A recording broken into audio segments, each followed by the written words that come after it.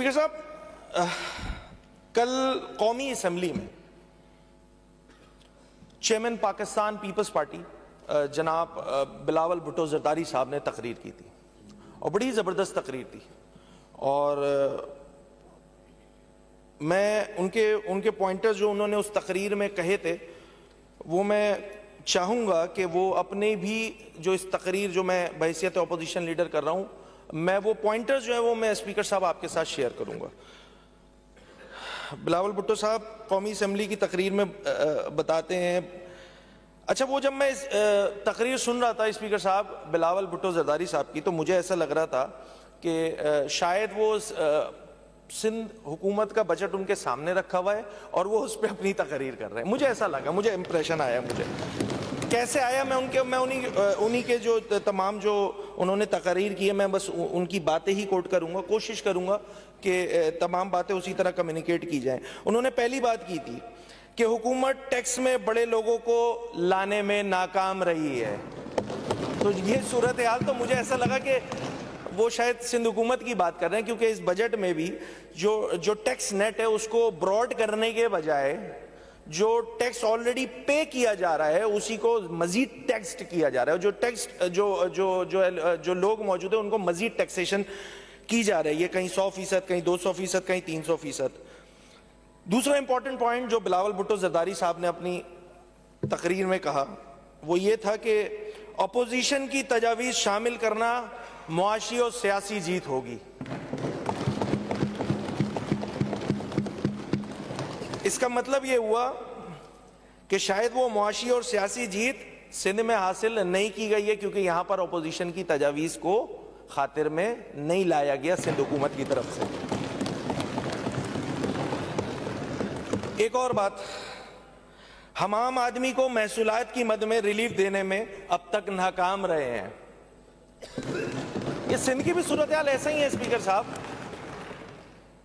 फिर आगे बढ़ के वो वज़ीर अजम से एक इल्तमास करते तो मैं इसको थोड़ा सा चेंज कर देता हूँ उनके स्टेटमेंट को। मैं वज़ीर आज़म की जगह यहाँ पे रिप्लेस कर देता हूँ वज़ीर अला वज़ीर आला सिंध से इल्तमास है कि बड़ी बड़ी लॉबीज का मुकाबला करने के लिए कदम उठाएँ।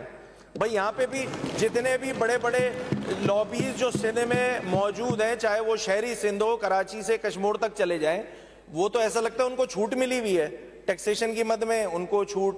यहाँ जो बड़े बड़े जो यहाँ महल्लात बनाए हुए हैं, चाहे वो शहरी सिंध हो, चाहे वो दही सिंध हो, सूबाई हुकूमत उनका मुकाबला करने के लिए, कदम उठाने के लिए अभी तक तो तैयार नहीं हुई है। एक और बात बिलावल भुट्टो जदारी साहब ने कही। वो ये कि अफसोस हर बजट में इनडायरेक्ट टैक्स पर ज़ोर दिया जाता है।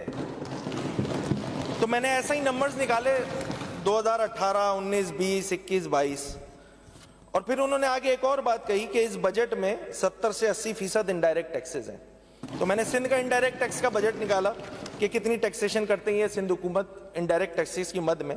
तो वो पिचासी फ़ीसद बहत्तर फ़ीसद चौरानवे इक्यानवे सतासी। तो मुझे ऐसा लग रहा था कि ये बिल्कुल सिंध के बारे में तमाम बातें कर रहे हैं जो चेयरमैन बिलावल भुट्टो जदारी साहब ने कल कौमी असेंबली में कही। एक और बात कही उन्होंने, और बड़ी इंपॉर्टेंट बात है। मैं उससे बिल्कुल तमामी बातों से एग्री करता हूँ। आगे मैं बढ़ता हूँ। कि हमसे मशवरा किया जाता तो मुस्बत तजावीज देते। स्पीकर साहब, प्री बजट इस पॉइंट ऑफ़ ऑर्डर पे मुझे याद है कि हमारे मेंबर सूबाई असम्बली हैं, साबिर भाई हैं तहा भाई हैं।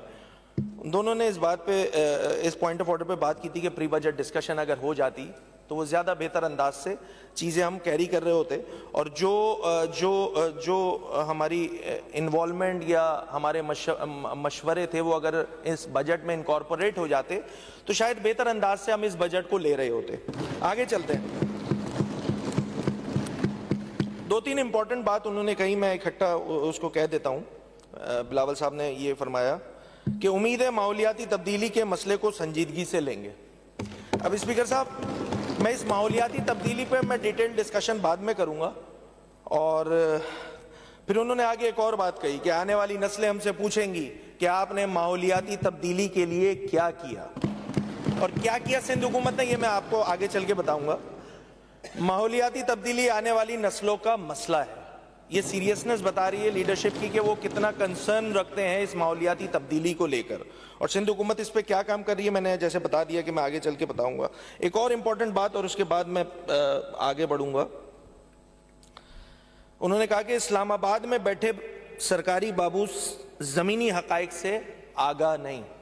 भाई हमारा भी यही रोना है, जो यहाँ पे सरकारी, एक तो बैड गवर्नेंस को अगर हम टारगेट कर रहे होते हैं हुकूमत की तो उसमें सियासी यकीनी तौर पे जो मिनिस्टर्स हैं या जो अवामी नुमाइंदे हैं, जिनके पास पोर्टफोलियो मौजूद होता है लोकल गवर्नमेंट है हेल्थ है एजुकेशन है, दीगर चीज़ें हैं, उसके साथ साथ जो ये ब्यूरोक्रेसी यहाँ पे बैठी हुई है, उनका भी लेना देना कोई नहीं होता स्पीकर साहब, क्योंकि पाँच साल बाद अवामी लोगों ने आवाम के पास जाना होता है और उनसे जवाबदेही हो रही होती है। ये सरकारी बाबू तो इनको तो वोट नहीं लेना होता, ये तो तीस तीस साल के लिए आते हैं। तो बात यह है कि मुझे ये सारी तकरीर जो मैंने आ, मैंने आपको कोट किए बिलावल साहब की एन उस तरह मुझे लग रहा है कि ये सारे मसले जो उन्होंने इस्लामाबाद में कौमी असम्बली में बतलाए एन वही मसले खुद सिंध हुकूमत जो है वो सारे काम करने में बुरी तरह नाकाम हुई है।